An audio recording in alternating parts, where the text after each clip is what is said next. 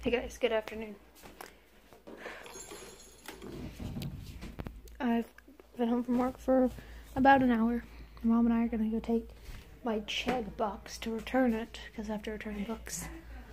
Um, but my brother bought this black cherry soda, and he said it was way too strong. And he was like, "Hey, Kelly, try it." And man, that stuff was strong. And we tried watering it down, and it didn't work. It was just, it didn't mix at all, and it was just gross. See ya.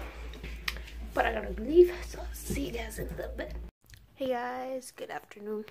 It's time for the comment portion of the video. I'm holding a slice of pizza right now, so that's why I'm not talking with my hands. um, but there's any comments today. But the question of the day is.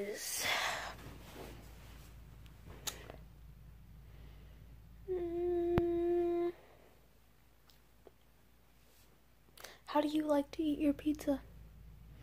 I personally eat around the edges and then I eat towards the crust and then I eat the crust last. Yeah, some people they don't really have a specific way, but some people do. I do. But yeah, comment down below, please like and subscribe, and I'll see you guys tomorrow. Bye.